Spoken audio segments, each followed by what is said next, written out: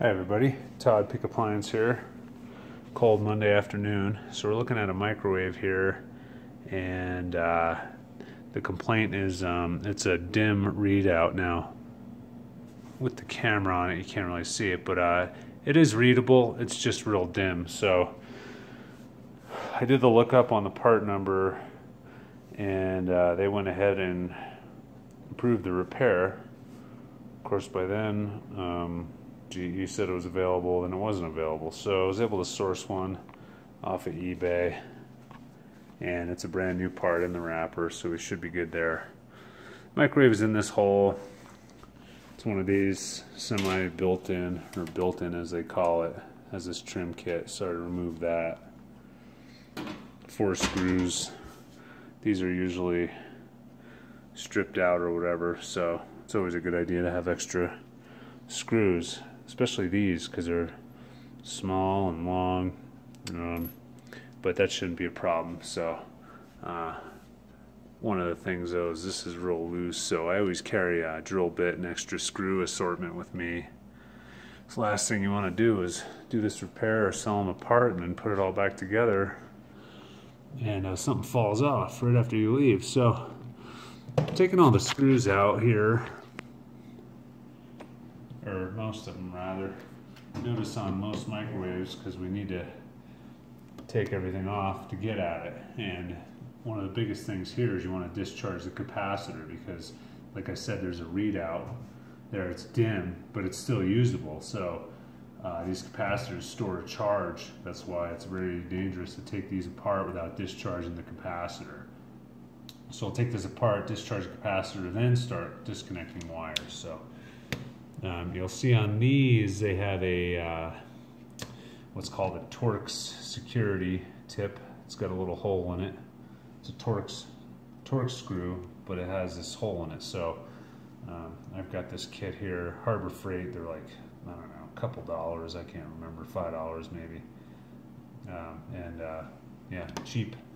Uh, halfway decent. Since since I got that kit though, I went ahead and got some nice, these are hardened tips so they last a bit longer. Um, the other ones wore out on me. I've had these, I've had this set for several years now, but uh, comes with a nice holder and it's got an assortment of stuff. Usually I just use these, in the appliance world, you have the uh, security tips.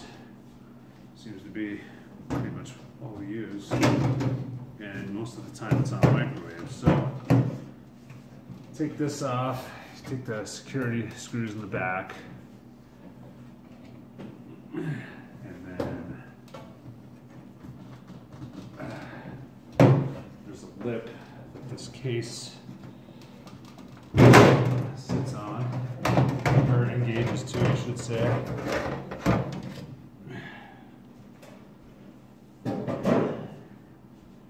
And that lip is right here all the way around here and here.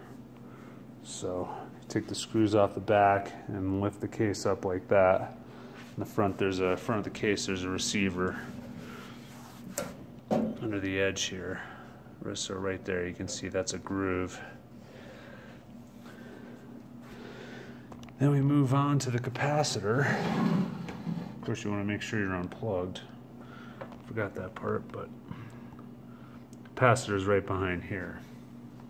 Now, to do that, basically you're shorting these out to one another. This is what stores the charge, which is a couple thousand volts usually.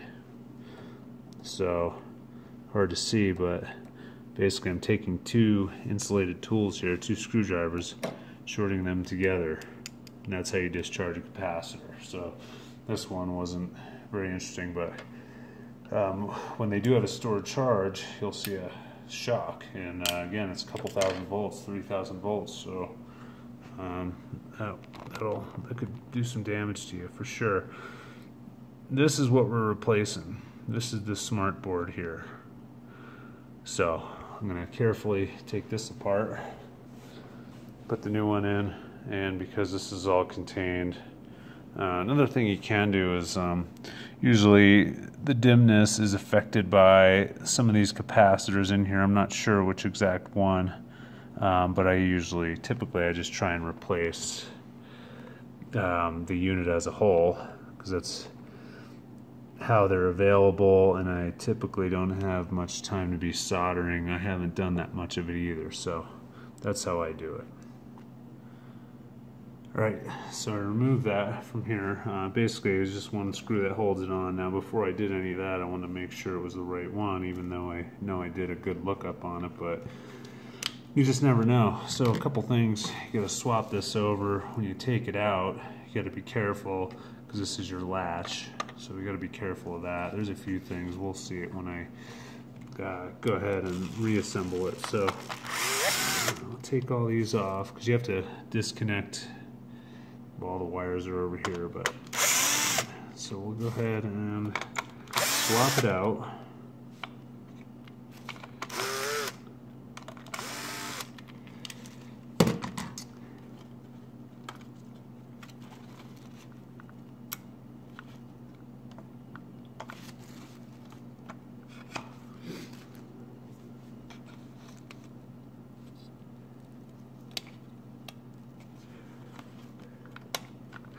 This here is the communication cable. That's what the buttons on the face, that's how they communicate with the actual smart board, which is what this is called. It's essentially the control board, but they call it a smart board on this one. So there's the old one. There's the dim readout portion that we're getting rid of.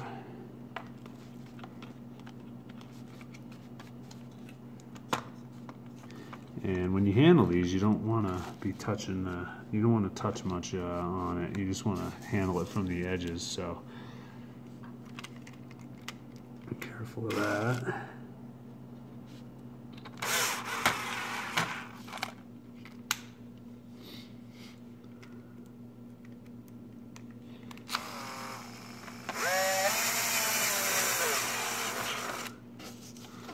Careful not to over torque the screws also.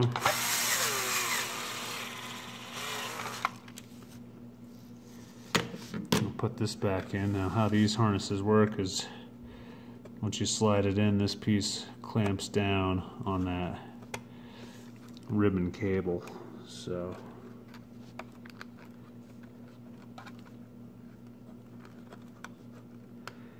there's also two little tabs in there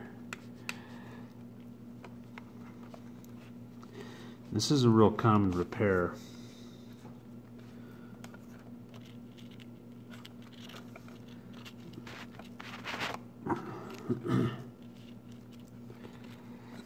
okay. Now we'll put it back in.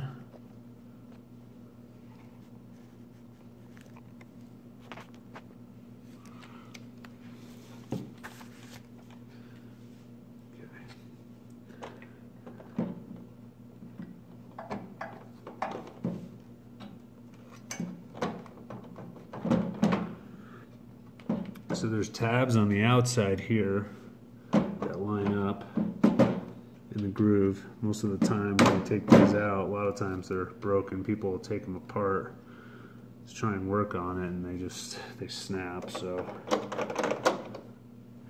here's that actuator. That's what gets your, that's what opens the door.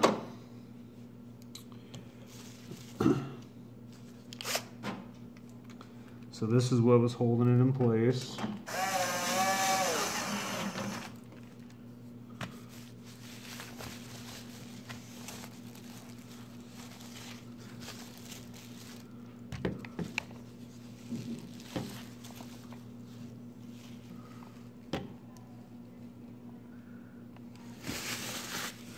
And there's a ground screw right here. This there's this ground and the board ground or to the chassis.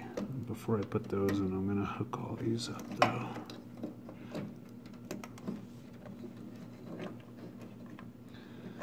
And I just pulled these apart, but it's not a bad idea to take a picture of your connections. That way you know where everything goes.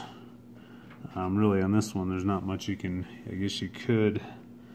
You could possibly mix these up. So always take a picture. If you're not familiar, take a picture. I do a lot. This particular one, I did not.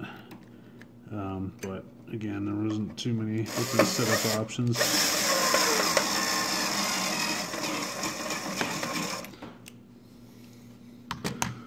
Okay.